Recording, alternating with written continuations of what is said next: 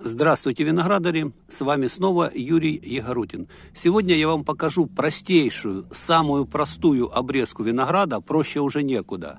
На примере вот этого трехлетнего куста. Здесь не будет никаких заморочек, никаких сучков замещения, только плодовые стрелки. Но для начала обратите внимание на куст. Самое интересное, что эту форму можно создать на второй либо на третий год. А все остальное время вы только ее будете поддерживать. И эта форма куста носит название бесштамбовый. Видите, у меня голова куста ниже уровня почвы. То есть надземного штамба у меня нет. Многорукавный. Раз, два, три, четыре, пять. Пять рукавов. Веерный. Рукава расположены как вот части на веере. Итак, бесштамбовый, многорукавный, веерный куст для укрывной зоны виноградарства. В моем случае – под двухплоскостную шпалеру. Теперь давайте еще немножко об устройстве этого куста, а именно одного рукава. Смотрите, прошлой осенью у меня вырос вот такой длинный побег. Я его подвязал под углом приблизительно в 45 градусов к нижней проволоке, а остальную часть подвязал горизонтально.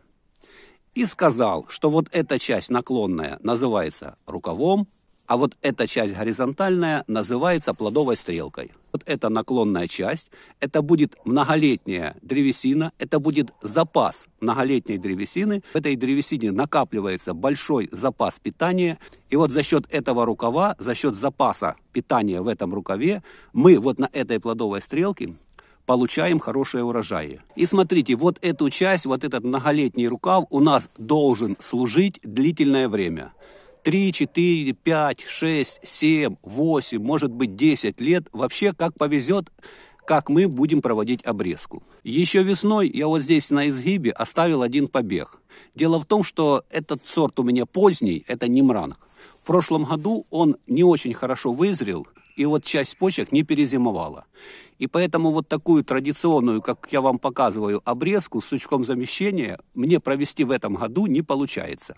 Но если я не проведу эту обрезку на плодовое звено, то никакого вреда этому кусту я и не нанесу. Самое главное, смотрите, мне удалось вот здесь, из верхней части этого рукава, сформировать и вырастить вот такой отличный побег, который будет в будущем году плодовой стрелкой. При этом мой рукав за этот год не удлинился. Итак, смотрите, вот здесь проводим обрезку, а вот эту плодовую стрелку в будущей весной подвязываем вот к этой нижней проволоке, и вот это у нас будет новая плодовая стрелка. А вот старая плодовая стрелка вместе с вот этими побегами удаляется. И вот такую обрезку нужно провести на всех рукавах, которые есть на этом кусте. Ну и чтобы два раза не ходить, смотрите, вот в этом случае у меня плодовая стрелка получилась идеально вот там, где нужно. То есть длину рукава я сформировал нужную мне, и вот прямо в этом месте выросла новая плодовая стрелка. Вот с этим рукавом так не удалось. И не удалось вот по той причине, что я вам говорил. Куст поздний, в прошлом году не очень хорошо вызрел, и поэтому вот в этих местах, там, где мне нужно, глазки не пошли в рост. Но пошел глазок вот здесь из нижней части. И вот когда я вам говорил, что вот на нижней части будущего рукава этой весной я выщипывал э, все глазки. При этом, естественно, я ориентировался на то, что где-то мне нужно оставить побег для плодовой стрелки. И вот оказалось, что хороший побег был вот достаточно низко. То есть, если этот рукав у меня получился уже в этом году, ну, где-то сантиметров 80, ну, этот, наверное, в половину меньше. В этом пока что нет ничего страшного. То есть, получается, у меня рукав будет состоять из двух половин. Вот этой части, и вот часть этой плодовой стрелки тоже будет использоваться в качестве рукава. То есть, длина рукава у меня все равно будет вот точно такая, как и здесь. Ну вот теоретическую часть я вам рассказал, а теперь я сейчас просто проведу обрезку и покажу, как эти рукава будут подвязаны в будущем году. Рукава и плодовые стрелки. Итак, самую простую обрезку вот на двух рукавах я провел. И давайте, чтобы закрепить, рассмотрим снова. Многолетняя древесина у меня, вот она, рукав, а вот у меня плодовая стрелка. Теперь по длине вот этой плодовой стрелки. Как мне определить, какая длина будет обрезки вот этой плодовой стрелки? Здесь мне нужно обратиться к этому году, вспомнить, посчитать, сколько у меня было побегов, сколько гроздей и какой у меня получился результат. В данном случае рост этого куста был не очень хорошим, то именно поэтому один пятый рукав который, кстати, вот середину куста заполнял, я удалю. Вот на каждой плодовой стрелке мне нужно будет в будущем году по 4 побега, не больше. Теперь следующее. Сорт у меня азиатский. Первый, второй и вот здесь третий глазок плодоносить не будут. И поэтому их я не считаю и добавляю еще раз, два, три, четыре, пять глазков. И вот в этом месте провожу обрезку. То есть в результате я обрезаю на 8 глазков вот эту плодовую стрелку, этот однолетний побег. При этом три нижних, скорее всего, что в будущем году урожая там точно не будет. И вот из этих пяти, которые остаются, я оставлю четыре побега. Теперь давайте посмотрим вот на этот рукав. Видите, многолетняя часть стала короткой, а вот здесь получается, что до нижней проволоки я добавил уже однолетней частью. То есть на самом деле мой рукав будет немножко длиннее.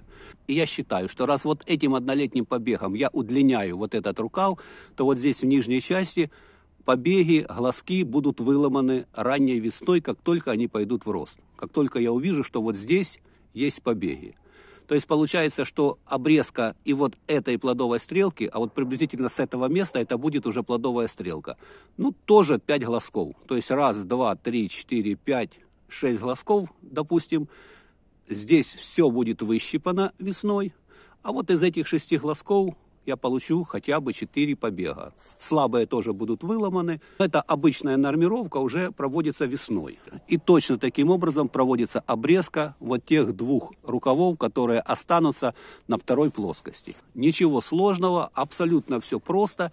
Единственное, знать, что нам нужно создать за первые 2-3 года – вот такую форму куста. Вот так, как выглядит на экране куст, вот это идеальная форма куста для укрывной зоны виноградарства. Понятно, что для виноградарей, которые имеют опыт в виноградарстве, вот в этом случае я ничего нового абсолютно не рассказал. А вот для самых начинающих, я думаю, этот ролик будет полезным.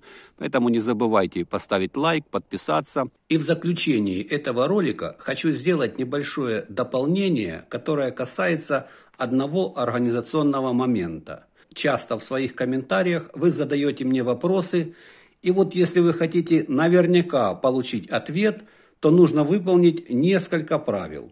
Первое. Тема вопросов исключительно виноград и все, что с ним связано. Второе. Если вас заинтересовал какой-то момент в моем ролике, то обязательно в своем вопросе укажите тайм-код этого момента, то есть время. Полностью пересматривать ролик я не буду, ну и, как вы понимаете, ответа вы не получите. Третье. Не нужно сбрасывать ссылки на каналы других авторов на YouTube и на других ресурсах с просьбой прокомментировать. Не смотреть, не тем более комментировать я не буду. Четвертое. Вы всегда можете снять небольшой видеовопрос, желательно максимально коротко, залить на свой канал и оставить мне ссылку. Я всегда посмотрю, если смогу, то помогу.